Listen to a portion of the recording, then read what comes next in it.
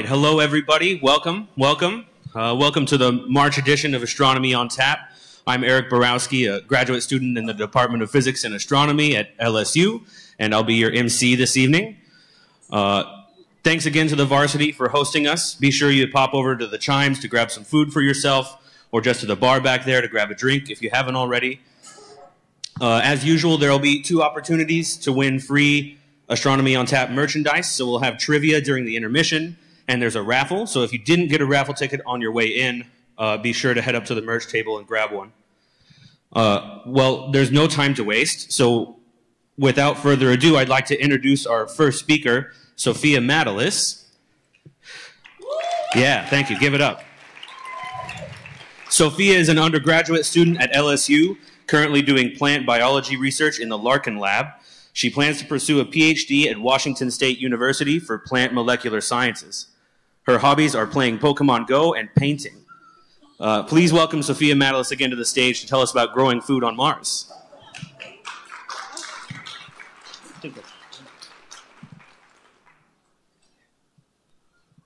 Okay, thank you for having me. I'm very excited. Um, I'm Sophia again, and my talk will be about growing potatoes on Mars. Uh, specifically, you know, how feasible is it to bring agriculture to Mars? Uh, what are some of the challenges that we might go under? And uh, what are some, you know, possible remedies for this? I'll deep dive into one particular challenge and one idea that I have that might uh, be the solution to this problem. Uh, so to get started, has anyone seen the Martian movie? And you can raise your hands. Awesome. I'm so glad a lot of you have seen it because it would be a problem. Uh, so it's one of my favorite movies. Uh, Matt Damon gets stuck on Mars and has to find creative ways to sort of, you know, uh, survive there until NASA can come get him. And as a plant biologist, I particularly got interested in his little, yes, greenhouse that he built. And he sort of uses this combination of Martian soil, and I'm, I'm going to quote it because it's not really soil, technically. It's just like dirt, because it has no organic material, and human poop. And he grows potatoes with this. And I have like sort of a little picture. It's not that great on the presentation, but it shows sort of like what he used. And his potatoes look really nice, which is not how they're supposed to look. So I kind of wanted to talk about, you know, is this actually feasible? You know, are there, are there any challenges? Uh, and so on and so forth. Um, so I'm going to start with some basic challenges that I'm sure a lot of us already know. The first one being radiation. Uh, radiation is, of course, uh, you know, very extreme on Mars. And growing any sort of life or even bringing life to Mars would be a massive challenge. Um, there's definitely a lot of mutations that would happen in DNA, and even the astronauts that only spend just a few months in space end up having massive medical you know, complications. Uh, the next one being that Martian soil contains absolutely no organic material, um, which meaning that like any sort of fertilizer we bring would have to be you know brought through a spaceship. Um, and this is the luxury we have on Earth, as a topsoil actually uh, has a lot of the nutrients that plants need, and we only need to really add a little bit to it to let plants grow. And the last one being that there's no usable water on Mars. Um, there is the polar ice caps, but there's a whole bunch of processes that would need to go on, and we'd have to melt the water, and it's just like a hassle. So, you know, we'd have to bring it up, unfortunately. So now I want to go into some of the more minute details that were kind of overlooked by the Martian movie that I was thought was, you know, kind of funny. Uh, the first one being that there's no real air circulation, um, just either in his greenhouse and on the Martian planet itself.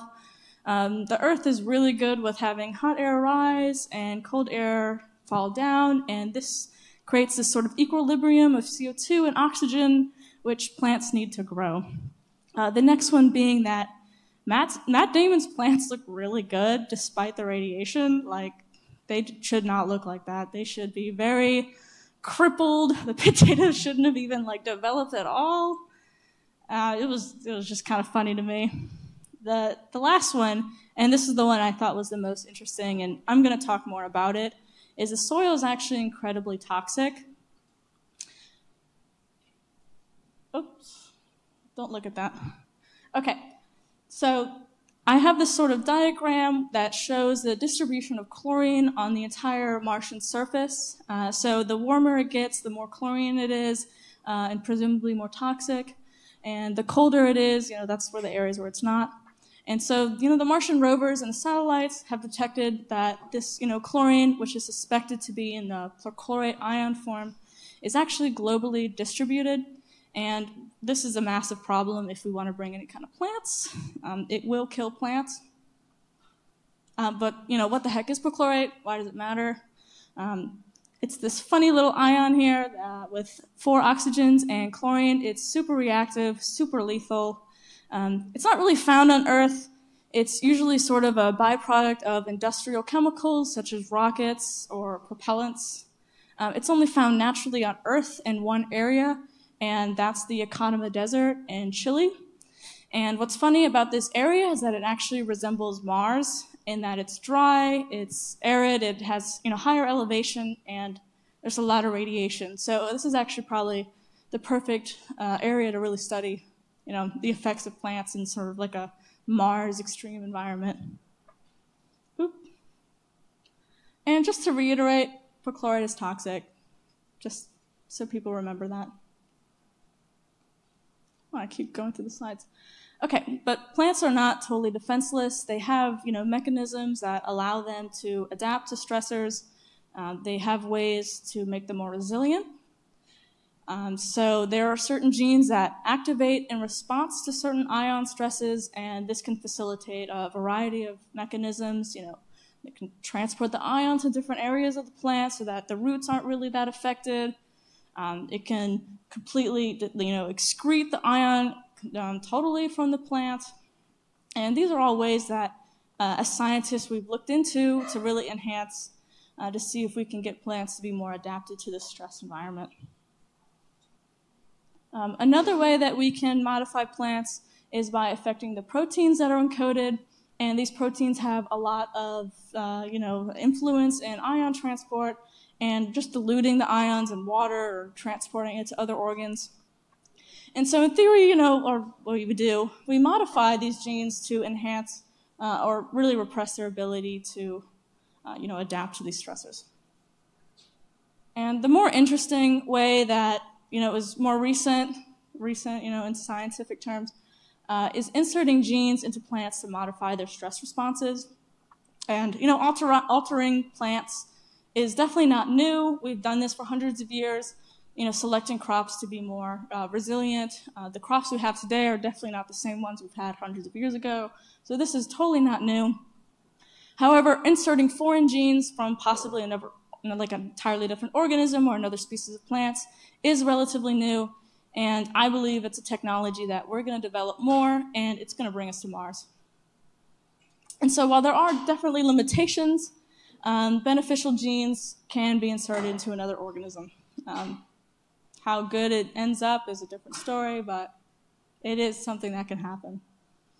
Um, so now that I've established that plants have the you know, machinery to be able to handle ion stress, um, and I've established that they can't really handle chlorate that well, I kind of now want to go into um, the organism that actually can, that I found, um, that does have the machinery to handle chlorate stress and can possibly donate this machinery into plants and that is the bacteria found in the Atacama Desert.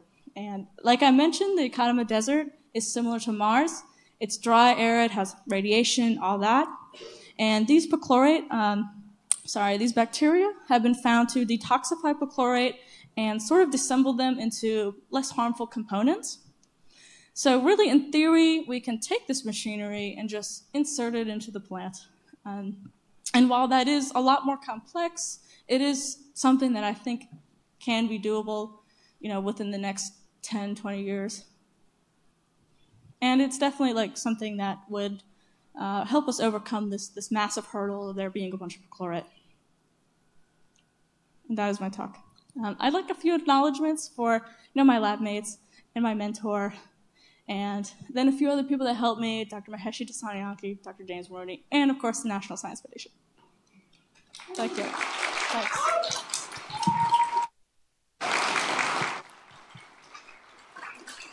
All right. Thank you, Sophia, for an excellent talk. Really appreciate it. Uh, so, does anyone have any questions for Sophia?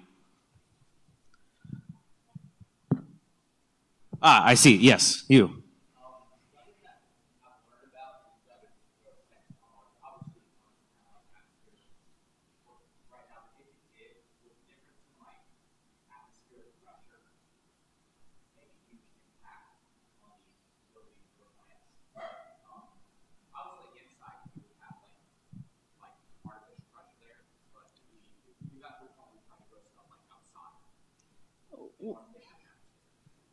Well, we'd probably have to grow it like we'd have to grow plants in like a dome. So uh, I'm sure these sort of like variables would be uh, mediated, like pressure and all that. Um, I'm not an expert in this area. All right. Any other questions? Uh, yes.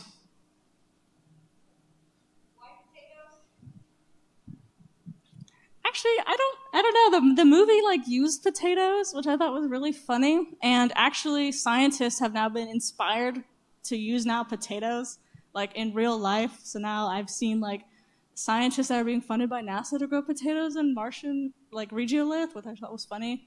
I have no idea why potatoes the movie just used that which i thought was interesting. So it looks like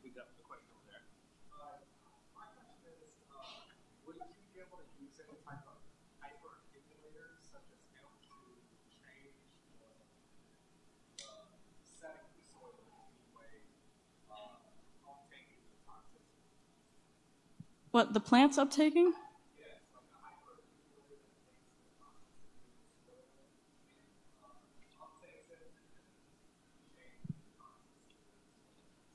Well, I, you know, I want to develop plants to where we don't need to use those kind of mechanisms. Um, it would just be nice to just grow them on the soil. So if we did any sort of processes uh, that would take the toxicity out, that would just be more work to bring, which would defeat the purpose of, you know, the plants uh, being resistant to perchlorate.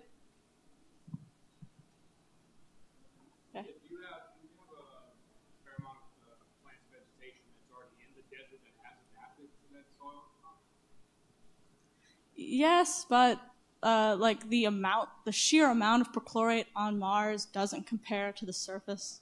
Uh, whereas the bacteria, they're living in this like super perchlorate environment. Um, but I, I would like to study these plants as well. Okay. Do you know, so you talked about like stressors for the soil. Do you know if we are studying genetic engineering for radiation as well? Yeah, actually, uh, the professor that I'm interested in at Washington is using quinoa to study, uh, you know, how radiation affects plants. This is like a relatively new area, so there isn't a lot of like background on this, but it's definitely like happening.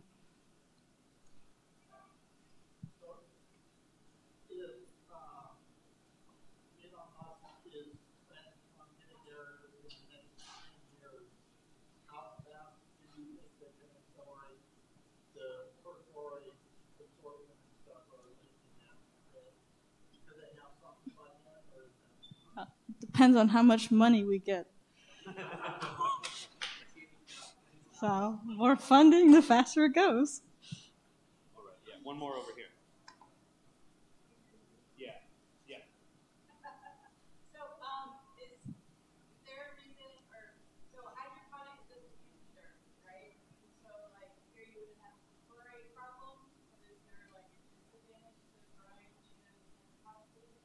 Uh, well, we'd have to bring the water, um, and we'd have to bring the machinery to it, and um, just growing them on soil, you can just throw them out. Whereas hydroponically, there's like a specific like uh, sort of method, and I don't feel like it's efficient to grow it in mass amounts for hydroponics. Because like in theory, this would be crops to feed people. Um, so I don't believe that hydroponics would be as efficient as just growing them in soil. We got one more question from Jude there. Xerneas? I'm not sure what generation that's in. Sixth generation? I like it. It's super pretty. All right, let's thank Sophia again. Thanks. Great talk. All right, so now we'll have a brief intermission, uh, 15 minutes or so. Uh, during this time, we'll have volunteers passing out the trivia cards and we'll run the trivia slides. Uh, be sure to participate for a chance to win that free AOT merch. Um, now is also a great opportunity to hop back to the bar and grab a drink if you haven't already. Uh, so we'll see you back here in about 15 minutes.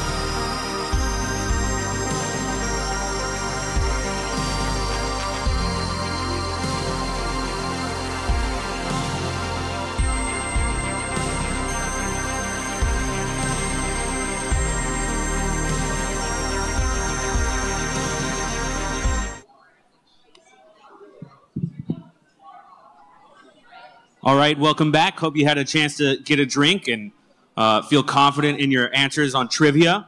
We'll announce the, the winners after our second talk. So, our second speaker this evening is Dr. Tabby Boyajian.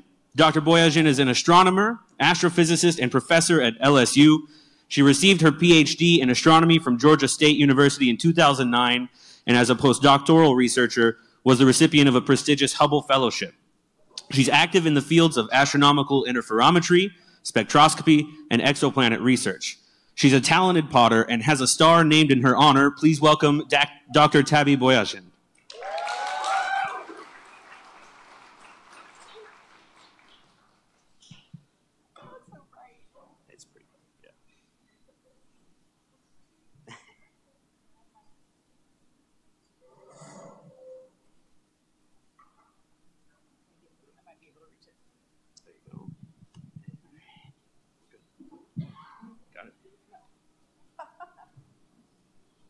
Like it's my first time.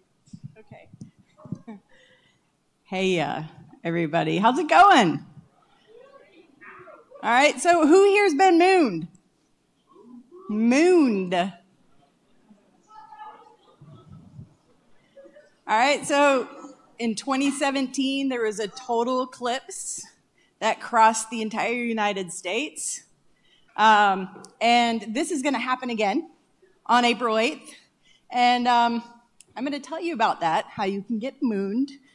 Um, so, just to get started, wait, which way do I put it? This way? kind of blinded.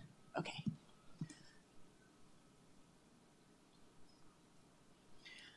All right, some introductory information for you first. Um, so, what is an eclipse? So, eclipse just basically means something is passing in front of something else.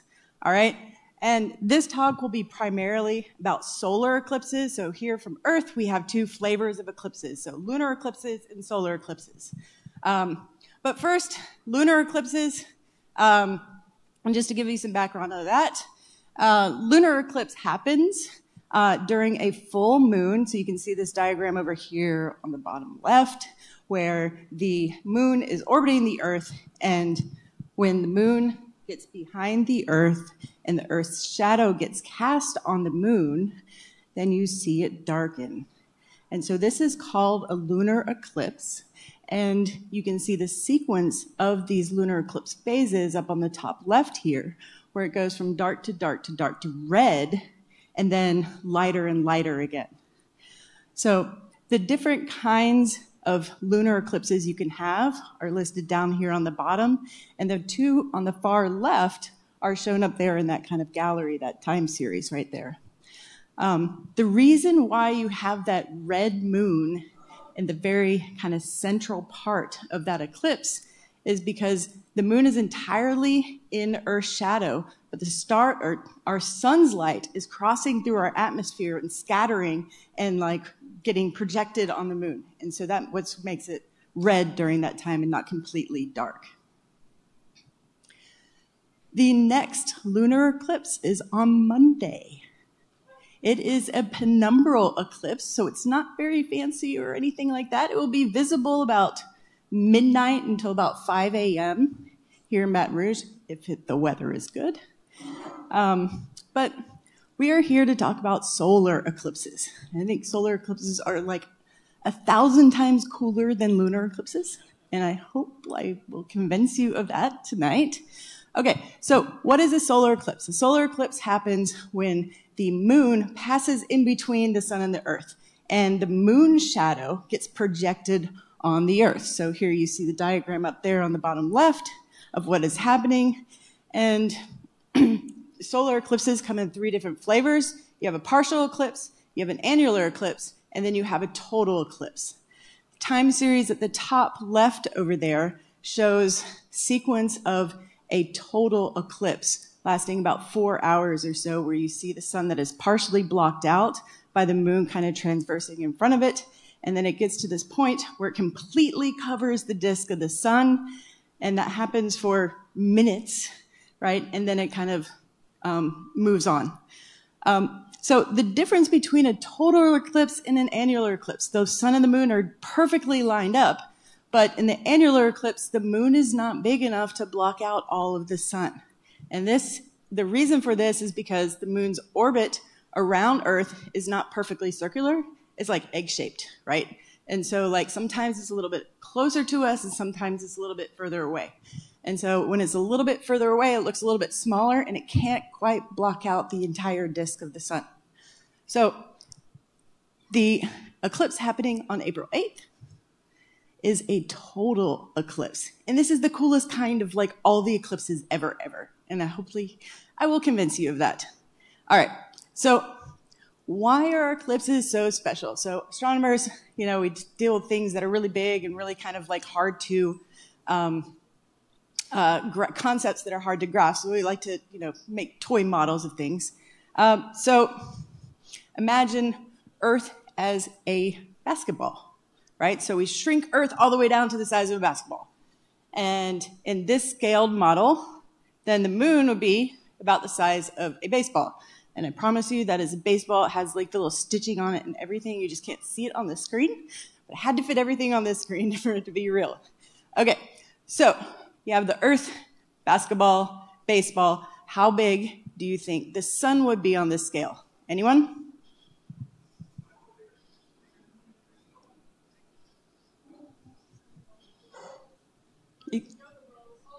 Mm-mm. You can't answer. Those are my kids. All right, just yell it out.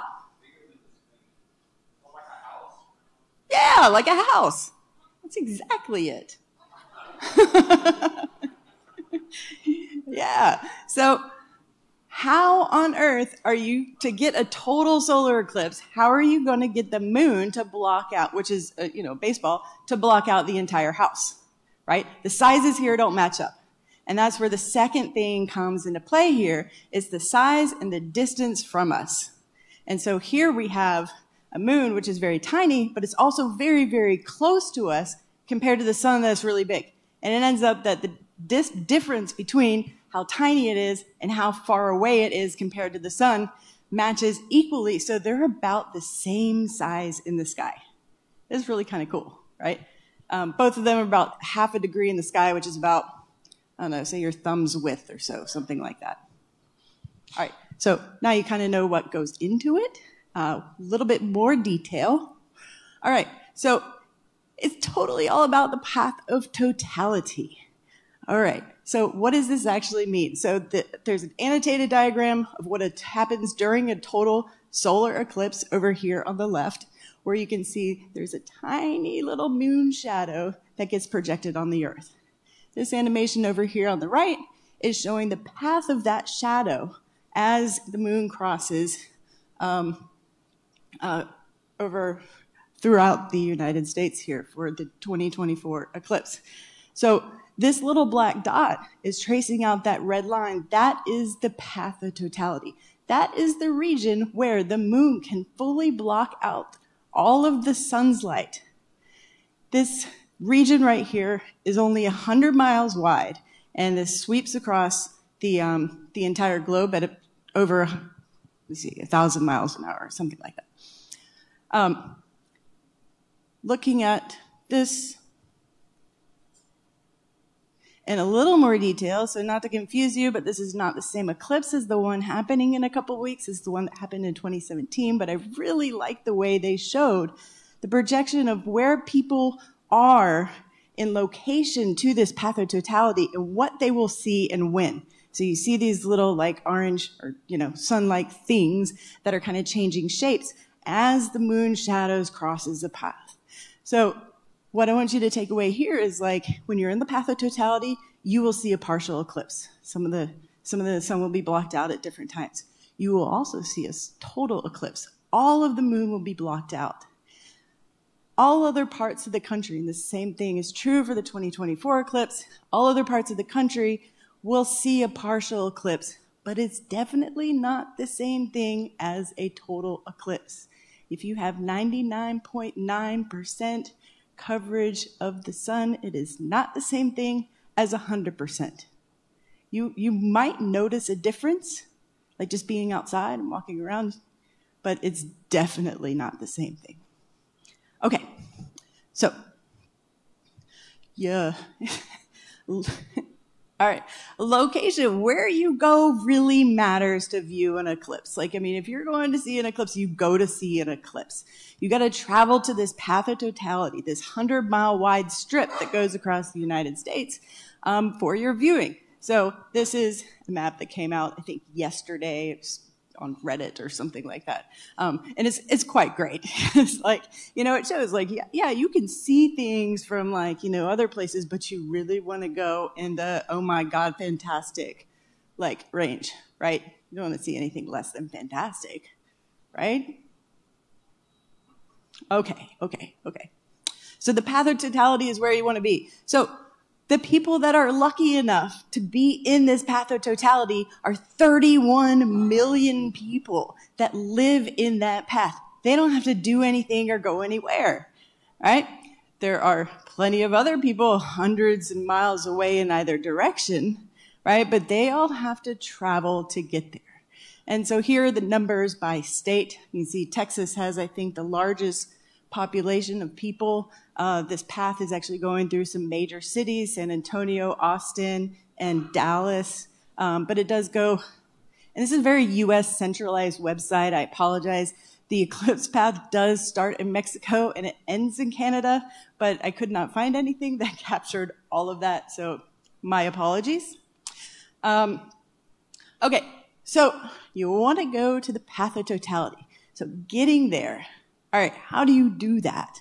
Um, so they're estimating approximately 4 million people are traveling to this path of totality, right? There's already 30 million people there already. Um, parks, campsites, uh, hotels, things like that, they've all been booked for a really, really, really long time, like in that entire path of totality. Um, likewise, there's been things that are planned at planetariums and uh, you know educational centers, like kind of all over big parties. Like we went to Arkansas and did crystal mining last year, and they're already advertising this, like, you know, the solar eclipse. They're in the path of totality, and they're a crystal mine, and like how many, you know, wonderful powers are going to come up when, you know, you're you're mining for crystals, and it's during a solar eclipse. I mean, how cool is that, right? Yeah. Okay. So, um, the eclipse will happen on a Monday. Um, so, I mean, when you're going, you can take a long weekend.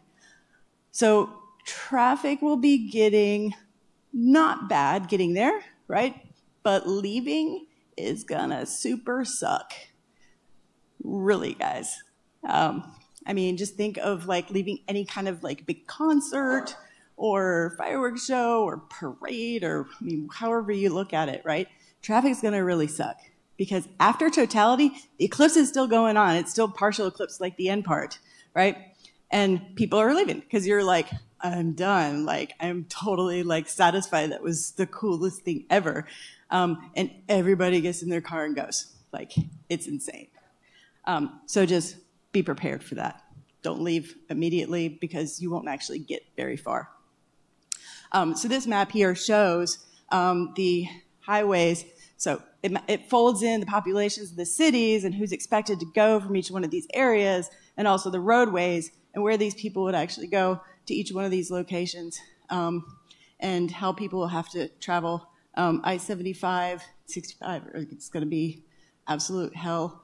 Um, I think that's I-10, also awful. Um, yeah, but if you're in Louisiana and you're going like to Texas, it doesn't really show that as like the closest like you know path to the path of totality road. Um, so it doesn't really show anything going there. I'm kind of worried about that. Things everyone from louisiana is going to arkansas. Everyone i know from louisiana is going to texas. So um, take it you know as you will. Okay. Um, once you get there there's a six letter word that we can do nothing about. Any guess Clouds. Yes. Okay. We love Earth because it has an atmosphere. It does all the things that um, Mars doesn't do, right? As we heard earlier. Um, but that means we have weather and clouds get in the way. And if there are clouds, you can't see the sun and then you won't see an eclipse. And so you traveled, I don't know, eight hours or however long it is um, to see clouds. That's a bummer. You can't do anything about it.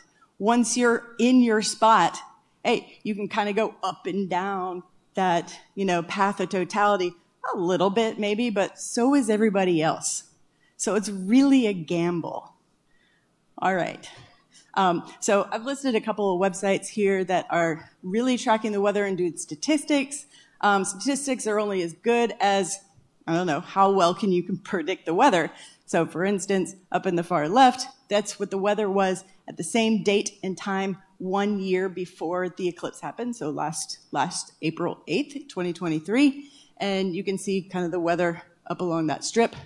The one on the right here is showing the average conditions over the past 30 years um, based on cloud coverage. And so, average speaking, like, you know, going up north into like, you know, Maine and Montreal, anywhere in New York, cloud coverage is statistically pretty bad. But over here, last year it said, hey, you know, there was sunshine on that same day last year. So it's still too soon to tell, but you do have to keep that in mind but there's nothing we can do about it. Okay. Um, eclipses are totally awesome, right? This one is going to go through Mexico, the United States, and up through Canada. If you're in the path of totality at the very center of the path of totality, the eclipse will last for over four minutes, like four and a half minutes. So that's when like the moon is completely covered the sun, right? everywhere else in the United States is going to also have viewing of a partial eclipse at some point, right? Um, what you will experience is totally awesome, right? So I have here that the temperature will drop and nature will respond. What does that mean? So when the clouds cover the sun, right, you feel like a little bit of a relief, right? We're Louisianans. We feel relief when clouds come. Um, so kind of the same thing happens, but like it's a lot more, right? So the temperature drops about 20 degrees. We're in this path of totality um, at the center line.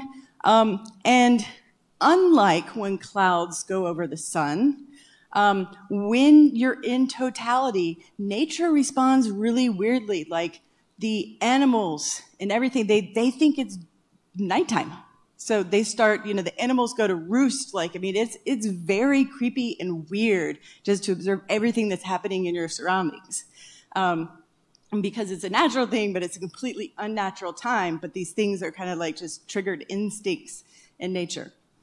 Um, this last bullet here. You will see stars in the daytime. How cool is that? Um, also, you'll be able to see a couple planets in the sky. Uh, Venus will be about 15 degrees. So if you stick your hand up like this, it's 15 degrees or so. Um, it'll be about 15 degrees away from the sun. Maybe it's this. Okay, fist away from the sun. Um, and uh, uh, Jupiter will be about 30 degrees away from the sun. You'll be able to see them very, very well. They're very brightly illuminated planets. Um, and you won't need a telescope. This is just viewing with your eyes. It's so easy, guys. Okay. So, safety first. Okay, when you get there and it's sunny, so you can actually see what's going on, um, don't be like this guy. Um, who got, who's on TV doing this?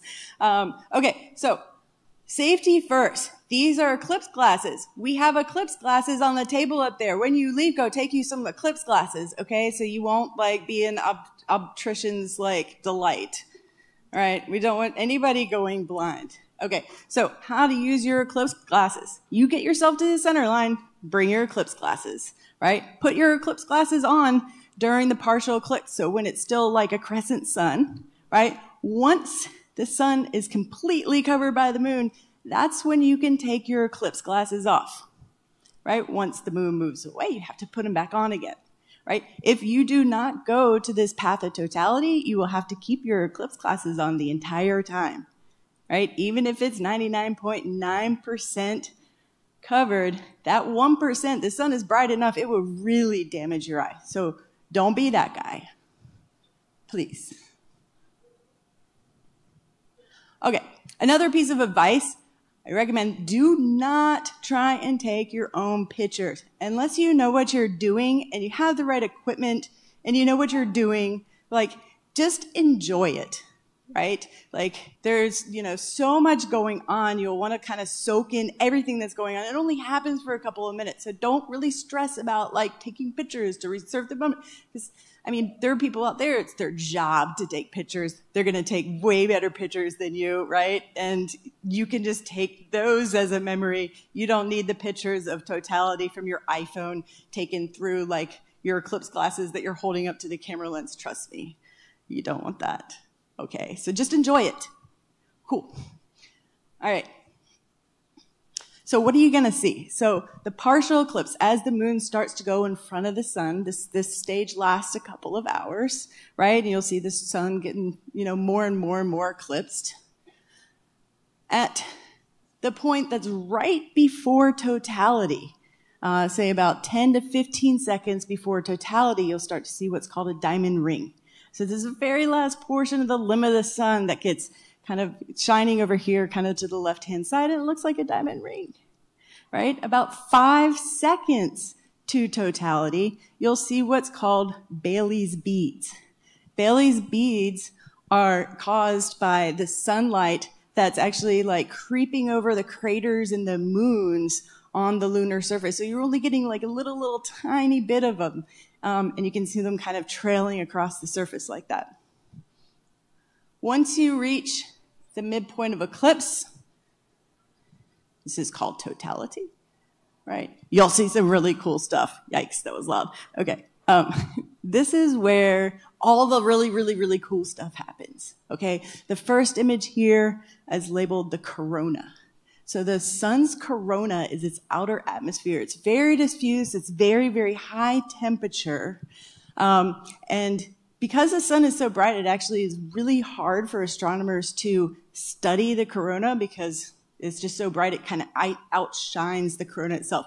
And the moon is like a perfect thumb to put over the sun itself, right? And so you can actually study the corona as an astronomer.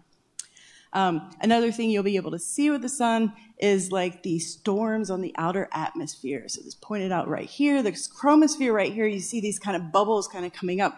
These are streamers and storms many times the size of Earth itself, right? Caused by these magnetic storms that are like pushing streamers and, and plasma up into the air. And you'll be able to see this, which is really neat.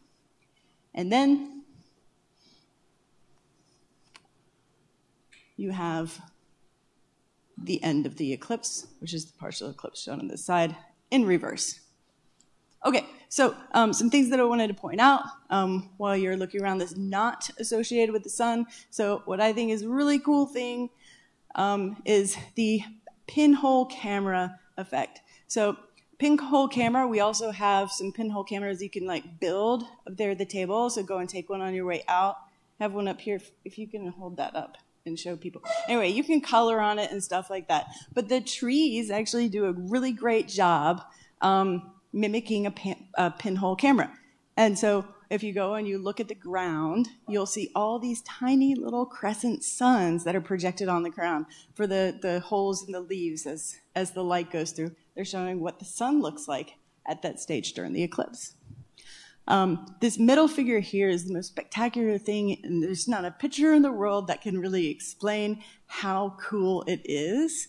So this, um, this image is called 360 degree sunset.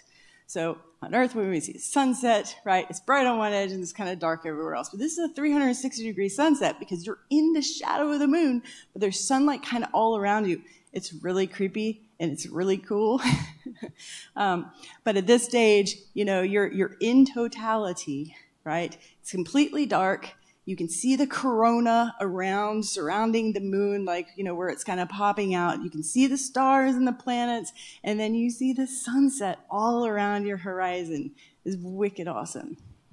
Okay. Um, this last picture shows um, nature responding. So this is flowers, kind of like um, the, the flowers that close up at nighttime and they open up during the day. This happens. Um, uh, just one example of the kind of things that happens uh, within nature. Okay. So how unique is a total eclipse? So um, I read somewhere that about one in 10,000 people are, see a total eclipse in their lifetime, right? So if you're able to see this total eclipse, like, awesome, you're pretty special already, right? Um, so what this study shows, this came out a few weeks ago, actually, is they took the eclipse pass over the past 5,000 years, and, um, and this over here on the left-hand side shows a heat map of the animation on the right-hand side as it's finished, right? So the right-hand side, it's kind of tracing out all these eclipse paths over these 5,000 years. And they were able to study the kind of statistics of when eclipse happens and such like that. So to kind of sum it up, um, what they found is that there's no special pl- place on Earth that you need to, like, there's no place on Earth that doesn't get eclipse viewing at some point, right? You don't, you know, it's, it's not like, you know, you can only see it near the poles or near the equator or something like that. Anywhere on Earth, you can see an eclipse. Um, some subtle things they did find out, um, which you can kind of see over here on the left-hand side, is that there are more eclipses that happen on the nor- northern hemisphere. And this is just due to this kind of wobble that Earth has, um, where the northern hemisphere is kind of just pointed a little bit more towards the sun um, than the southern hemisphere. Um, likewise, the eclipses happen more frequently during summertime instead of wintertime, and that statistically is because the, um, the sun is up for longer in the summertime than in the wintertime. So that also kind of makes sense. Okay, so they did some numbers and da da da. Um, found out that there's about, um, for any one location on our planet, every 360 years, you will have a total solar eclipse pass through that one location. 360 years, right? There's a whole lot of lifetimes, right? Okay, um, so on this bottom place right here, in the, in the bottom, so the 2017 uh, total eclipse path and the 2024 total eclipse path make this X, right? They're calling themselves the eclipse capital of the world. Or so. Was anybody there? Anybody here who's there? Yes. Was it cloudy? I went to St. Louis. Oh, you went to St. Louis. Okay. I don't know. I, I heard for some people it was cloudy. Um, but regardless, like they kind of broke statistics in a way. It's kind of cool um, to have two total eclipses um, go, you know, seven years apart from each other means that like this 2024 eclipse is like several hundred years early, basically. For that one spot, right? You're supposed to get one eclipse every, you know, 360 years or so, but this one comes every, you know, seven years. So that's pretty awesome, right? Anyway. Okay, so y'all are going in a couple weeks. I hope I convinced you. Um, if you end up not going for some reason, um, uh, or maybe the weather gets you, right? Um, you have an excuse to go to Barcelona or to Iceland. Um, that is the next total eclipse is in 2026, and the path is shown over here on the right. Um, if you haven't been to Barcelona, I highly recommend it. It's a way fun place. Um, okay, but in North America, the next total eclipse in North, North America is in 2045. That's a long time from now. Long time to wait, but you have excuses to travel now, right? But another thing that I wanted to point out is Baton Rouge is in that path of totality for the total eclipse of 2078. Yay. All right, something to live for, right? Okay. Yeah. All right. Um, so in, in my abstract, I submitted, um, I told you I'd be talking about how we can use eclipses to learn about stuff. Um, and then I was like, I can't talk about all this stuff and the amount of time they're going to kick me off the stage. So I'm gonna, just going to give you like a little teaser of some things. And then I'm actually giving a talk at the library on Saturday. You can hear about more of the stuff if you're interested. Anyway, okay. So other kinds of eclipses. Um, so this is pictures taken from one of the robots on Mars, um, viewing an eclipse of one of the Martian moons, uh, Phobos, um, as it eclipses the sun. We would call this an annular eclipse because it is not big enough to cover the entire surface of the sun. Um, but if you were on Mars, you would see this happen twice in a Martian day. Twice a day. That's pretty cool, right? All right. Um, here we have uh, the, our sun um, and Venus uh, transiting the sun in 2012, and then Mercury transiting the sun in 2006. Um, I really like to show these because it shows how big the sun is, guys, right? Like, look how tiny those planets are projected against the surface of the sun. It's just mind blowing. Anyway, okay, so lastly, um, if we look outside of our solar system, um, we uh, have a method of detecting planets going around other stars, and this is called the transit method. And so it's described over here in this little cartoon where you have a planet in orbit around its host star, and if it's lined up just perfectly in our line of sight, periodically it would come around and block a little bit of this starlight. And so if we stare at stars and measure how bright they are over time, and periodically see them dip, right, we'll be able to tell that a planet's there. And so what I'm showing over here to the right is a sped up animation of one week of what's called Kepler observations. Kepler was a space telescope. It's dead now. Well, it was dead, and then it like became a zombie, but now it's really dead. Um, but um, it had one job, really boring job, to stare into space and measure a star's brightness for four years straight. And it did that with a whole bunch of stars. And this is like the little footprint of what it did, and it found a ton of planets, like thousands of planets, guys. Okay, so what this is showing, one week of observations, right? It's showing all of the planets that are transiting there. It's showing by the size of the circle how big they are, by the color of the circle how close in they are, how hot they are, right? And by the frequency in which they blink, right? How often they're crossing in front of their host star. That's pretty cool. All right. So um, that's just a little teaser on what I'm going to talk about on Saturday, and I can take questions now. Thank you. Awesome. Thank you, Tabby. I'm sure we'll have plenty of questions. Uh, let's start. I saw a hand up right here. Yes, you.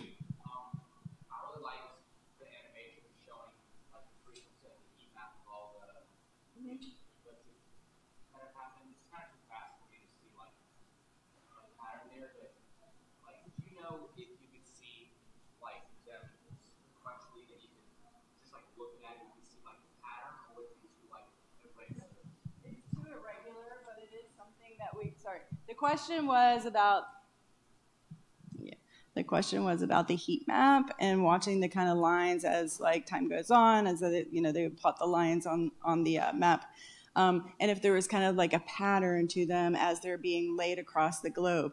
Um, there's there's no pattern that like a human eye would be able to pick out, but this is something that's modeled. So we have you know the predictive future transits. Um, there's a lot that's folded into it, um, not just yeah, there's a lot of things that are folded into these models with the geometry of the uh, Earth and Sun um, and Moon locations and times and things like that. Yeah. Yes. I mean, it could be a pattern on data yet, but you know, yeah, I don't think it's a pattern not detectable by the human eye for sure. So, Yeah question is, during totality, we'll be able to see stars and planets, etc. Uh, can you anticipate perhaps having better visibility because less light pollution, pollution during the day, nothing the lights will be on yet? So the question was, um, when you're in a city, will you be able to have less, or will it be, will light pollution from the city be a problem um, during totality when you're viewing the stars and the planets? I have no idea. um, I, I don't I don't know. I thought about that. Yeah. Yes. So, I, I guess one of my, my question is, I understand that if it's cloudy, we won't be able to see like the coolest part of the total eclipse. But the way you were describing it, it's going to get dark enough that like even nature will believe it's nighttime. So, in my head, even if it's partially cloudy, during totality, it should still be that dark, right? Correct. Yeah. I mean, it's not going to be a complete wash, but seeing something like faint, like the corona, or you know, seeing the stars, and so that's that's not going to be possible. Um, but I mean, you, you could still potentially see the 360 degree sunset and how nature is responding. You'll definitely have a temperature difference and, and so on.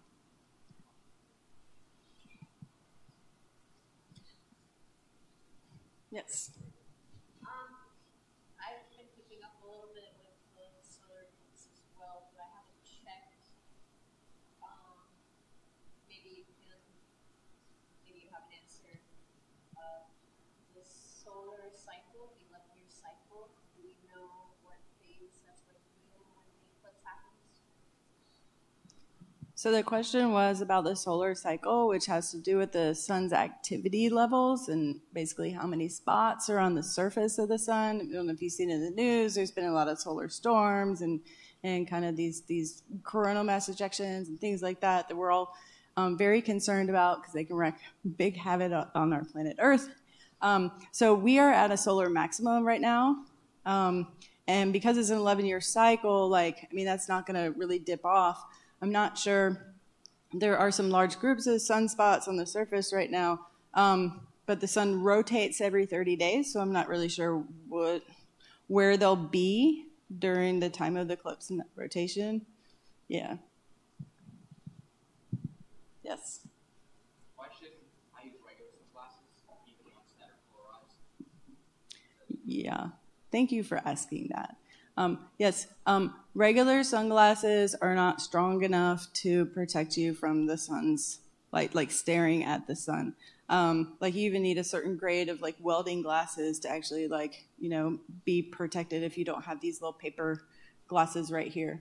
Um, I know they don't look very cool, but like there's really no alternative when you're viewing the sun, or you just you know wait and just you know wait for totality and then then you don't need the glasses. But yeah you don't want to use regular sunglasses while viewing an eclipse.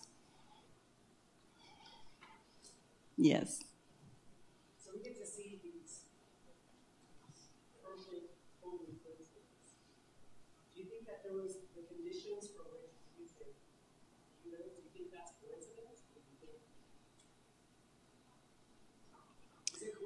it yeah so i mean actually just it, it's um well so earth is the only terrestrial planet with a really large moon. Um, and so uh, that's an advantage that we have. Like i showed you those pictures of, of Mar- mars's moons. They're like tiny little potatoes. Like they're really close to it so there's that. So they kind of look a little bigger in the sky but they're they're not very big at all. Um, and so we have a really big moon so that helps um, i mean the perfect you know like size difference versus di- distance difference um, is in part like a um, uh, affected in time. Okay so the moon's orbit is actually moving further and further away from us every year by like i don't know two centimeters something two centimeters per century. I don't know a little a tiny little bit. Um, and this is due to friction from like um, the moon orbiting the earth. Um, and so I think it's, I don't know, some tens of millions of years from now, the moon will actually be too far away from us for it to be a total eclipse anymore. You only have these annular eclipses. 600 million years. Hmm? 600 million years. Thank you. Yeah. He's like a dictionary. So we, we have one online question. okay. Um, so, so one of our loyal online audience members uh, is saying they're traveling to Illinois for totality, and they couldn't quite tell where the star was that had the last total solar eclipse and this most recent one, and they're they're concerned that it's where they're going to be, and that the traffic will be even worse. Where, do you know whereabouts that is? Carbondale. Carbondale. All right. So hopefully that's a that's a reassuring answer for our online audience. I can't tell for sure. Yeah, I think the traffic's going to be bad anywhere. Yeah, yeah, probably. Yeah. Okay. Any more questions? We have we have our traditional question, I think, coming here. I've been thinking about this ever since I, give this talk. Okay, so um, we're looking at our shiny Pokemon the other day, so I also played Pokemon Go with them, and um, and I just I really love my my shiny Squirtle with sunglasses. It's so cute, um, and so I think that's the favorite one that I have. But yeah, otherwise probably Pikachu because it's Pikachu. Hmm. Any more last minute questions? No? All right, well, let's thank Dr. Boyajian again. Excellent talk. Thank you very much. Cheers. All right. Okay, so just a few things before we wrap up. Before I announce the trivia winner and uh, draw the raffle ticket, I just want to let y'all know that uh, next month, April 25th, we'll have an extra special astronomy on tap. That'll be in collaboration with the LSU Museum of Art. Uh, they're hosting a Fierce Planets exhibition, and so in collaboration with them, we're gonna we're gonna do a joint event. It'll still be here at the Varsity, so come back and see us April 25th for that. Um, let me. Ah, thank you. I will need this. So let's let's look at the trivia. Can you switch me over to that, Colin? Just a moment. So so like Tabby said, if if you haven't yet, um, make sure you stop by our merch table on the way out and either get yourself one of those pinhole cameras or if we have some left, uh, the Eclipse glasses. Um, but let's go ahead and do the do the trivia answers here. All right, so uh, number one, uh, we had named that movie trivia this week. Uh, actually, there were several winners, so we had to do a, a bit of a blind shuffle. Um, but but let's see here uh, what the answers were. So this was 2001: A Space Odyssey, number one. Uh, two, that's Interstellar. Really cool looking uh, spaceship they got and the black hole in the background. Uh, three, that's Spaceballs. Uh, very good uh, comedy. Uh, Darth Helmet there, uh, featured in the picture. Four, we heard a little bit about this one, and Matt Damon may, have- given it away. This is The Martian. Five, uh, hopefully everyone got this. Uh, I'd be really sad if anyone didn't. This is uh, Star Wars A New Hope. Uh, there's Tatooine with its two suns. Uh, here we've got Star Trek The Wrath of Khan. I think this is the original one, not the newer one. You may have been looking for that. Uh, seven, this is Gravity, that excellent Sandra Bullock film, quite dramatic. Eight, uh, Trip to the Moon, one of the earliest uh, films, if I remember correctly. I don't know a whole lot of details about it. Uh, I've seen it once. It's pretty. It's pretty fine. Uh, nine, that's Galaxy Quest. Yeah. Okay. I, I hope. I hope a lot of people got that one too. That's one of my favorites. And then ten, we have the space between us. All right. So, like I said, we had a couple of winners, people who got all ten correct, and so we had to do a blind shuffle. Um, the winner today is Salvatore Berna. Are you here, Salvatore? Awesome, great. Make sure you head over to the merch table. Great job, great job. Go ahead and get, get yourself some free merchandise from us. Okay, and so now I'm going to draw uh, our raffle ticket. Hopefully, you got one. Uh, sorry if you didn't. So, check out the last, uh, let's say for safety, let, check out the last four numbers of your raffle ticket. And we'll draw until we have a winner here. Uh, 5682. 5682. All right, we got a winner right here. Excellent. First try. That's nice. Okay, so head over to the merchandise table, get yourself some free Astronomy on Tap merchandise. All right. Thanks again, everyone, for coming out. Appreciate you. We'll see you next month, April 25th. If for some reason you can't make uh, it to the Path of Totality, I do want to let you know there will be some events on LSU campus in the parade grounds where you can check out the partial eclipse with a uh, white light filter on a solar telescope.